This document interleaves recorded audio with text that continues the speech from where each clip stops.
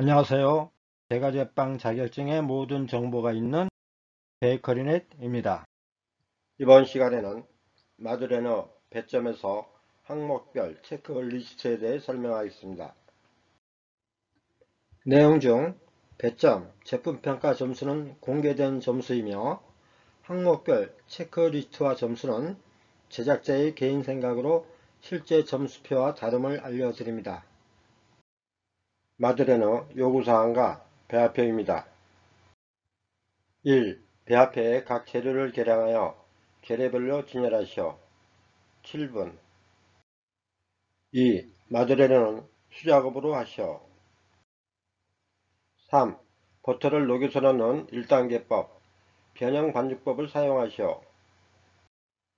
4. 반죽 온도는 24도를 표준으로 하시오. 5. 실온에서 휴지시키시오.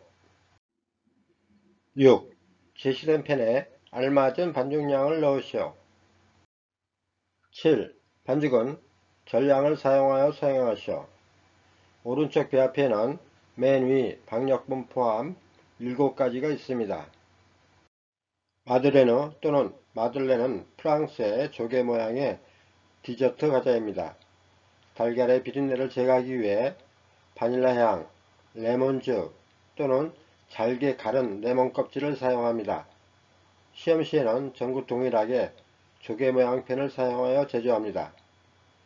제가 실기 시험 시 비교적 시험 당일 나오기를 원하는 품목이지만 시험 보고 나서는 본인이 만든 제품인데도 명확한 배급 상태 기준이 없어 수험생들은 매우 혼란스러운 상태입니다. 배급 상태 기준 없이 감독 위원 주관에 따라 합격, 불합격이 결정되는 것이 현실입니다. 여러분은 마드레너 제품은 조개 모양을 소비자에게 보여주기 위해 구운 후 뒤집어 포장하여 판매한다는 것을 알면 배꼽 상태를 어느 정도 부풀게 만들어야 된다는 것을 짐작할 것입니다. 마드레너의 오른쪽 배점을 보시면 공정 A 29점, 공정 B 26점, 제품평가 45점으로 합 100점입니다. 베이커리네 카페에 올라온 글입니다. 재료계량 할 때요. 감독관님께서 달걀 개수 지정해 주시잖아요. 그걸로 전부 다 사용하는 거 아닌가요? 감독관님께서 지정해 주신 달걀 개수 가져와서 재료 계량 후에 사용해야 되는 건가요? 저 여지껏 감독관님이 지정한 개수로 전부 다, 다 사용해 버렸는데요. 잘못 알고 있는 건지 해서 문의드립니다. 답변 1. 계란수는 가져오기 편하게 지정해 주는 걸로 알고 있어요. 깨서 계량해서 사용합니다. 답변 2. 그래서 계란은 지정해 준 개수 가져가고 시험 시작 후 따로 계량하라고 말해줘요. 질문자 아 전혀 말씀 안 해주셔서 전 지정해 주신 대로 전부 넣었네요. 답변 3. 감독관마다 달라요. 저번 감독관은 계란, 계란하는 것도 시간에 포함시켜서 힘들었는데 오늘 감독관은 계란은 계란 끝나고 따로 계량을 하게 해줘서 좋았어요. 계란수 가져가라 하고 계량하고 남은 계란 반납하라고 하네요. 자, 위 내용을 보면 질문자께서는 감독위원 설명을 안 들었던 것 같습니다. 첫 번째, 재료 계량 1. 계량 시간, 제한 시간을 지켰는지 확인한다. 2점. 배합표 재료는 박력분 포함 7가지이므로 재료 계량 시간은 재료당 1분이로 7분 안에 계량을 마치도록 합니다. 달걀은 감독위원이 달걀 중량에 따라 6개에서 8개를 가져가라고 할 것이며 레몬 껍질은 미리 시험장에서 1인분씩 계량해 놓은 것을 가져가라고도 합니다. 재료에 따라 수된 용기에 계량할 것, 종이에 계량할 것을 지정해 주므로 감독위원 설명을 잘 들어야 합니다. 2. 정확도 각 재료의 정확성 능력을 확인한다. 2점 재료 계량할 때 중량이 틀린 재료가 있다고 해서 너무 당황하지 마시기 바랍니다.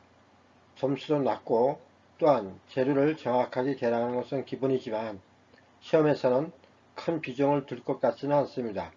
다만 제품 평가 시 애매한 부분에서 작은 점수이지만 이것이 불합격에 영향을 미쳐 59점으로 하여 불합격할 수도 있지 않나 하는 생각이 듭니다.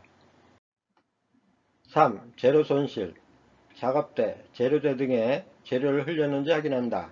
1점 다 잘했는데 나중에 생각해보니 재료 계량할 때 흘린 것 감독관이 보았는지 걱정입니다. 흘린 재료를 계량 도중에 닦지 않고 계량 다 마친 후 닦는 것이 계속 생각이 나서 그때 흘린 재료 닦고 할 걸 하고 후회한다는 베이커리네 카페 시험 후기에 올라온 글도 있습니다. 그러므로 흘린 재료는 무조건 닦고 다음 계량을 합니다. 두 번째, 반죽 1. 혼합 순서 각 재료의 혼합순서에 대해 평가한다. 4점 요구사항에 수작업으로 하라고 했기에 반죽기를 사용하면 안됩니다. 혼합순서는 다음과 같습니다. 1. 박력분과 베이킹파우더 채질하기 2. 채친가루에 설탕 넣고 섞기 3. 달걀 3번 나누어 놓고 섞기 4. 레몬 껍질 소금 넣고 섞기 5. 녹인 버터 달걀 반죽에 넣고 섞기 달걀을 한꺼번에 넣고 섞으면 고르게 섞기 위해 여러 번 휘젓게 되는데 이때 달걀 흰자가 공기를 품어 오븐에서 팽창이 되면서 제품 안에 구멍이 생기는 원인이 됩니다. 달걀은 두세 번 나누어 놓고 섞는 것이 좋습니다.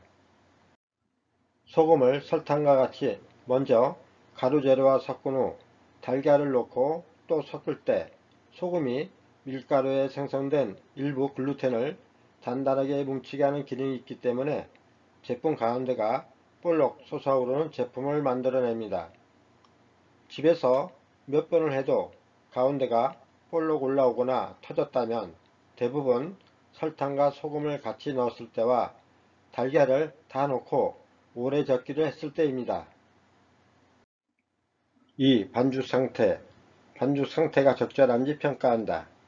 4점 앞에 혼합 순서에서 녹인 버터의 온도가 높을 경우 반죽이 주르륵 흐르는 상태가 됩니다. 이런 반죽은 시험장 온도가 높은 여름철에는 냉장고에서 휴지를 하여 버터를 굳혀야 팬에 짜기 좋은 반죽 상태가 되지만 요구사항에 휴지는 실온에서 하시오 했기 때문에 냉장고를 사용할 수 없어 짜기 좋은 반죽 상태의 굽기까지는 시간이 오래 걸리게 됩니다. 3. 반죽 온도 반죽 완성 온도가 적절한지 평가한다.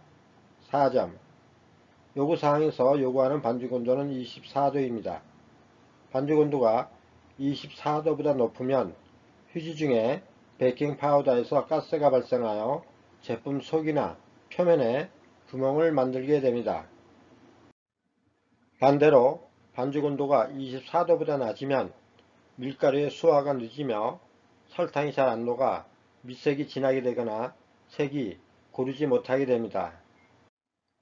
세 번째, 휴지 1.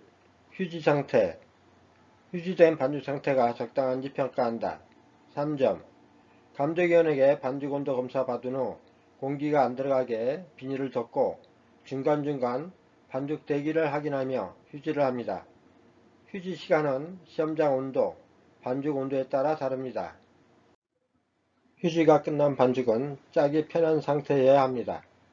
너무 굳은 반죽은 짜기 어렵고 굽기 시 위로 볼록 올라오는 제품이 됩니다. 반대로 너무 묽으면 굽기 시 팬 밖으로 넘쳐 흐르게 되어 넓은 테두리를 만들게 됩니다. 테두리는 포장 시 잘라내야 하므로 손실에 해당이 됩니다. 네 번째, 팬닝 1. 팬 준비 제품에 알맞은 펜을 준비하는지 평가한다. 3점 마드레는 펜 3장이 작업대에 미리 갖다 놓아 있습니다. 그렇지 않은 시험장에서는 펜이 있는 도구함을 알려주고 필요한 만큼 가져가라고 하면 펜의 코팅이 벗겨지지 않은 조개 모양의 펜 3장을 가져옵니다.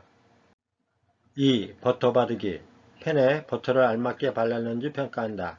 3점 버터를 너무 녹이면 물도 가운데로 흘러내려 굽기 시 끓어 반죽 밑면에 구멍을 만듭니다. 몰두 골마다 붓으로 하나씩 버터를 바릅니다. 3. 펜 넣기 펜의 부피에 적합한 양을 넣는지 평가한다. 3점 몰드 부피에 약 80% 정도 차지하여 두 판 이상 60에서 63개 정도를 짭니다. 다섯 번째, 굽기 1. 굽기 관리 제품의 특성에 맞는 오븐 온도, 시간 조절 능력을 평가한다. 8점 여기서는 오븐 온도, 굽기 시간을 제시하지 않으므로 본인이 배운 온도와 굽기 시간으로 하시기 바랍니다. 다만 반죽 대기, 반죽의 팬닝 수를 감안하도록 합니다. 2. 굽기 상태 제품에 알맞은 색이 고르게 나며 잘 익도록 관리하는 능력을 평가한다. 8점 굽는 시간 80% 정도 지나 유색을 확인하고 색이 고르게 나도록 팬을 돌려주는 타이밍을 잘 맞춥니다. 밑색은 굽기 시간 60에서 70% 정도 지난 후 아주 가느다란 나무 요지로 제품을 들어보아 확인을 합니다.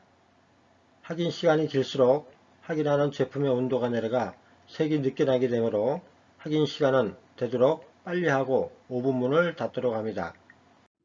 정리정돈 개뉴생 설명은 01 가이케이크 동영상이 있어 생략합니다. 여덟 번째 제품 평가. 부피. 털 위로 부품 비율이 알맞고 균일하며 반죽이 주저앉거나 넘치지 않았는가? 9점. 팬닝량에 따라 굽기 중 반죽의 변화는 서로 다르게 나타나므로 일정한 양으로 짜는 연습을 해야 하며 특히 버터를 40도 이상 높은 온도로 녹이면 반죽이 질어져 굽기 중 반죽이 넘쳐 사진처럼 테두리가 생기게 됩니다. 균형감 모양이 찌그러지지 않고 전체적으로 균형 잡힌 대칭을 이루었는가 9점 마드레는 펜 안에 몰드로 굽기에 대부분 제품이 대칭을 이룹니다. 그러나 몰드에 반죽을 짤 때 양이 같지 않으면 사진과 같이 배꼽 높이가 달라져 전체적으로 균형 잡힌 제품들이 되지 않게 됩니다. 껍질 두껍지 않고 부드러우며 전체적으로 밝은 갈색을 띠며 반점이나 공기방울 자국이 없고 줄무늬가 선명한가 9점 마드레르는 조개 모양을 나타내기 위해 제품에 줄무늬가 선명해야 합니다. 그러나 밑불 온도가 너무 높아 색이 진하거나 너무 낮으면 사진과 같이 줄무늬가 선명하지 않게 됩니다. 내상 기공과 조직의 크기가 고르고 밝은 노란색을 나타내며 섞이지 않은 재료 덩어리가 없는가 9점 앞에서 설명한 대로 반죽 온도가 25도가 넘을 경우 제품 내의 기공과 조직이 고르지 못하게 됩니다. 그러므로 반죽 온도를 25도 넘지 않게 하는 것이 매우 중요합니다.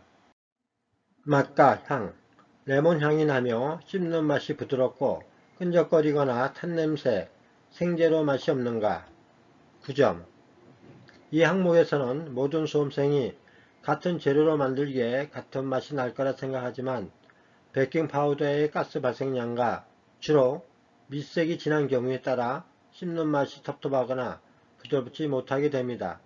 또한 휴지 시간이 짧으면 밀가루 전분의 수화량이 작아 호화 정도가 약해 끈적거리는 식감을 나타냅니다. 지금까지 마드레너 배점에서 항목별 체크리스트에 대해 알아봤습니다. 감사합니다. 추가 정보 업데이트 시 추가 정보를 계속 받고 싶으시면 좋아요, 구독을 눌러주시고 알림을 눌러 활성화 시켜주세요.